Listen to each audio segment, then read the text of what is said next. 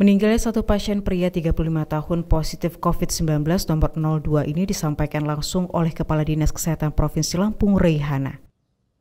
Dirinya menyampaikan bahwa pasien 02 meninggal Senin dini hari pukul 1 di ruang isolasi Rumah Sakit Umum DR Abdul Muluk. Selanjutnya pengurusan jenazah akan dilakukan sesuai dengan protap yang berlaku dan dimakamkan di Lampung oleh tim kesehatan. Sebelumnya pasien memiliki riwayat perjalanan ke Yogyakarta, Jakarta, dan Palembang. Setibanya di Bandar Lampung, pasien 02 mulai mengeluhkan kesehatan berupa demam, mual, dan diare. Dan tanggal 21, pasien ini dilakukan evakuasi oleh tim kantor kesehatan pelabuhan menggunakan ambulans transport kapsul menuju Rumah Sakit Umum Daerah Abdul Muluk. Saat itu kondisi kesehatan pasien menurun karena diketahui pasien juga memiliki riwayat penyakit hepatitis. Uh, kabar tiga pasien lainnya, alhamdulillah kondisinya stabil. Dan ini pun pasien nomor dua ini dari kemarin sampai malam masih baik sekali kaunya. Tiba-tiba jam 10 malam baru terjadi penurunan.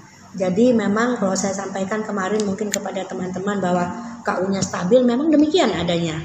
Tapi terjadi penurunan pada saat uh, malam jam 10 dan akhirnya menurun terus jam satu malam akhirnya uh, pasien nomor dua kami meninggal dunia.